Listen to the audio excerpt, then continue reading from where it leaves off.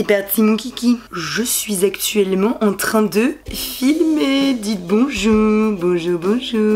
YouTube, j'espère que tu vas bien. Aujourd'hui, on se retrouve avec les rayons du soleil. Je n'ai pas du tout mis de lumière artificielle, c'est uniquement la lumière du jour et ça fait juste plaisir de faire une vidéo comme ça. Donc laissez-moi kiffer, même si c'est laid. Laissez-moi kiffer, c'est grave cool. Aujourd'hui, on se retrouve pour une vidéo un peu cool. Euh, en fait, elle me fait trop plaisir à faire. En fait, je vais vous parler de trois chansons d'amour qui ont marqué mes proches et moi, par exemple. Euh, et je trouvais ça assez cool et c'est des chansons d'amour à la française. Donc vraiment des pures chansons typiques. J'en ai sélectionné que trois pour l'instant, mais s'il y en a d'autres qui vous font kiffer, moi je me ferai un plaisir d'en faire des vidéos. Cette vidéo là, elle est liée à une vidéo que vous pouvez trouver juste ici qui n'est ni plus ni moins qu'un bon vieux medley du love avec des chansons euh, plutôt anglaises, hein, même que anglaises, que je trouve vraiment chouettes à chanter euh, et, qui sont un petit peu sur le thème de la Saint-Valentin, etc.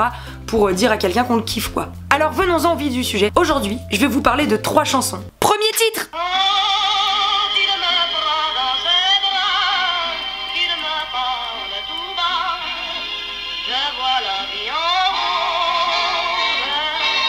Donc on se remet dans le contexte. La vie en rose, c'est une chanson qui date des années 45 à peu près. Euh, donc on est dans un contexte de France libre, la guerre est terminée. Euh, il y a plein plein d'hypothèses autour de cette chanson là. Et en fait ce que je vais vous raconter c'est simplement les petites vérités que j'ai réussi à trouver au fur et à mesure et essayer de recouper les informations et de les regrouper. En fait à l'époque Piaf a eu l'idée d'une mélodie. Mais hum, ce qu'il faut savoir c'est qu'elle n'était pas musicienne. Du coup elle avait besoin d'un musicien, d'un compositeur pour mettre son idée de mélodie euh, sur le papier euh, tel quel. Alors elle fait appel à Louis Guy, parce que Marguerite Monod à l'époque, avec qui elle, travaillait tout le temps, a refusé parce qu'elle trouvait un petit peu la mélodie gnangnan, euh, les débuts de parole un peu gnangnan. Du coup Louis Guy s'est prêté au jeu et a retranscrit son idée de mélodie à l'écrit, sur papier, pour pouvoir la jouer. Donc en vérité, Piaf, elle avait déjà une grosse idée de la mélodie et une grosse idée du texte. Jusqu'au jour où en fait, une chanteuse de l'époque, Marianne Michel, lui demande, fait appel à elle pour lui écrire une chanson. Et là en fait Edith Piaf elle avait un petit peu laissé La vie en rose dans les tiroirs. D'ailleurs La vie en rose qui à l'époque s'appelait Les choses en rose, elle avait pas du tout écrit La vie en rose tout de suite. Et donc elle avait mis cette chanson un petit peu dans les tiroirs. Elle l'a ressortie des tiroirs quand Marianne Michel lui a demandé une chanson, elle s'est dit bah tiens ça doit être une super chanson pour elle. Donc elle lui a donné. Et en fait directement Marianne Michel, elle, s'est un peu réadapté les paroles. Donc elle a dit à Edith Piaf, moi je vois plus La vie en rose au lieu des choses en rose. Et c'est ce qui a donné le titre La vie en rose. Et quelques modifications de texte plus tard, La vie en rose a vu le jour. Mais La vie en rose en version définitive, c'est Henri qui, le jour de l'anniversaire d'Edith Piaf, est arrivé vers elle et a dit Tiens, je te donne les paroles de la vie en rose, c'est celle-là qu'il faut et pas une autre. C'est donc Edith Piaf qui en 45 a écrit la chanson La vie en rose avec l'aide d'Henri Contet et surtout à la composition Louis Guy et ils ont écrit cette chanson pour Marianne Michel qui l'a chantée pendant des années dans les musicals parisiens qui l'a rendue un petit peu célèbre dans les musicals parisiens jusqu'au 9 octobre 46 où Edith Piaf s'est dit bah en fait moi je la kiffe vraiment cette chanson donc je vais l'enregistrer. Et depuis c'est une des chansons les plus reprises au monde hein, et c'est on va dire euh, l'emblème français. Je veux dire quand on parle de la France euh, dans les films étrangers c'est souvent cette chanson là qui est en fond. Vous pourrez remarquer que dans plusieurs films extrêmement connus la vie en rose elle passe souvent souvent souvent. Deuxième titre c'est... Je le sais, sa façon d'être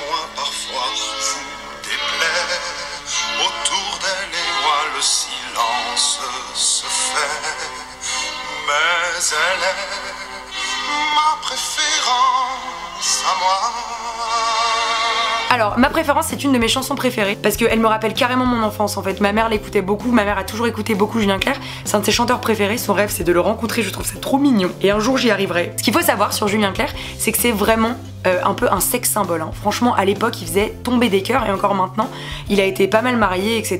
Il a connu beaucoup d'histoires d'amour, mais des vraies belles histoires d'amour. En tout cas, à l'époque, il était à Biarritz en 78, je crois, euh, en été 78, et il était dans la maison de vacances de Jean-Loup Dabadi, qui est un parolier célèbre. Et en fait, euh, il se pose au piano et il a l'idée de la mélodie de ma préférence. Je trouve ça assez simple de le raconter comme ça, parce que ça, en fait, je pense que c'est beaucoup plus long comme processus. Du coup, il profite d'être dans la maison de vacances de Jean-Loup pour aller le voir et dire coucou Jean-Loup, euh, bah, j'aimerais bien que tu écrives les paroles euh, de cette euh, chanson parce que ce qu'il faut savoir sur Julien Clerc aussi, c'est que c'est un très très très très très grand compositeur, mais que souvent il fait appel à des paroliers pour mettre des mots exacts sur ce qu'il pense et ce qu'il ressent.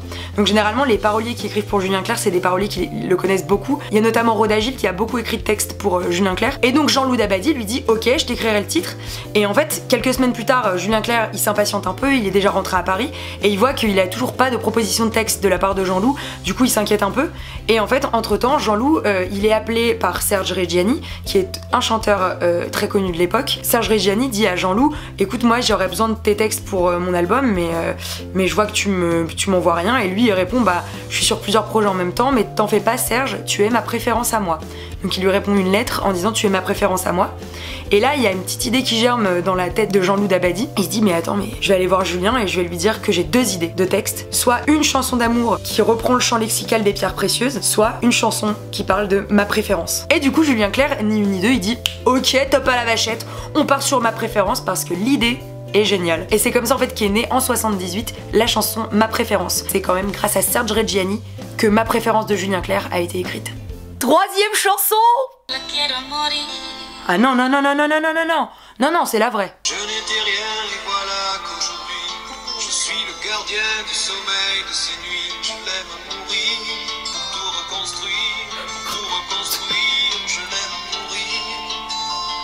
Et donc c'est bien évidemment Je l'aime à mourir de Francis Cabrel. En fait ce qui est trop mignon c'est que j'ai appelé mon père pour dire bon papa quelle est ta chanson d'amour française préférée?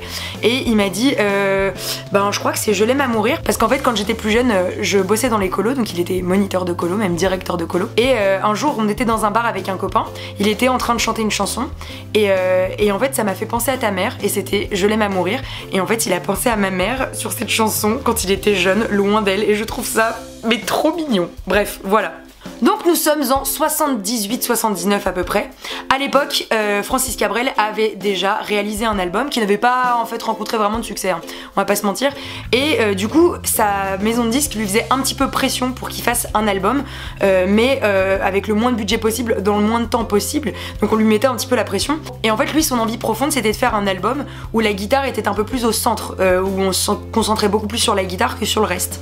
Du coup, il a voulu perfectionner un petit peu sa technique guitare pour ce faire, il a lu beaucoup de bouquins, notamment les techniques de Marcel Dadi, qui est un guitariste. Et en fait, un jour, il était avec un pote et il a appris une technique de picking. Donc le picking, c'est un arpège un petit peu plus musclé. C'est là comme ça, en apprenant une technique de guitare, que Francis Cabrel a eu l'idée de la chanson Je l'aime à mourir, avec le refrain un petit peu entêtant de la guitare. Euh. Et c'est comme ça que cette chanson-là est née. Et pour les paroles, c'est très simple. En fait, il avait écrit une déclaration d'amour à une gonze euh, quelques temps avant, et il a repris cette déclaration-là en la modifiant quelque peu pour que ça puisse fitter avec les arpèges qu'il avait. Euh, je trouve ça quand même plutôt stylé de se dire que Francis Cabrel à l'époque, il faisait des déclarations d'amour en mode Je l'aime à mourir parce que ben il aurait fait craquer toutes les meufs de la planète quoi. Donc voilà, c'est comme ça qu'est née la chanson Je l'aime à mourir. Donc j'espère que cette vidéo vous a intéressé tout autant que moi, j'ai pris de plaisir à la préparer. N'hésitez surtout pas à aller voir le cover de mon top 3 des chansons internationales, enfin plutôt euh, des chansons anglaises en fait. Si vous venez ici après avoir vu mon cover, n'hésitez pas à me le dire dans les commentaires. En tout cas, je suis extrêmement contente d'avoir fait ces deux vidéos. J'espère que ça vous a plu.